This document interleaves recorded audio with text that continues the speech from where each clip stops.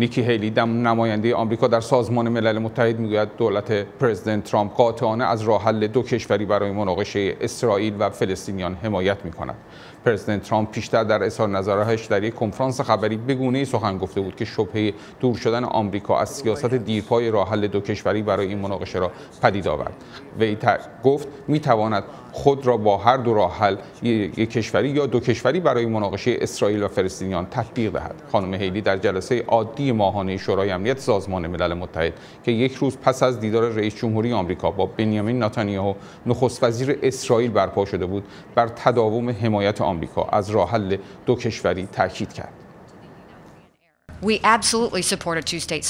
ما قاطعانه از راه حل دو کشوری حمایت می‌کنیم. اما در این اندیشه ایم که چگونه از این محدوده فراتر رویم و راههای کشاندن طرفین به پای میز مذاکره را نیز بررسی کنیم. به عبارت دیگر روشن سازیم که نیازهای ما برای به توافق رساندن دو طرف چیست؟ سفیر آمریکا در سازمان ملل متحد تاکید کرد که نهایتا این اسرائیل و تشکیلات خودگردان فلسطینی هستند که باید به توافق دست پیدا کنند و نقش ایالات متحده صرفا حمایت از این فرایند است.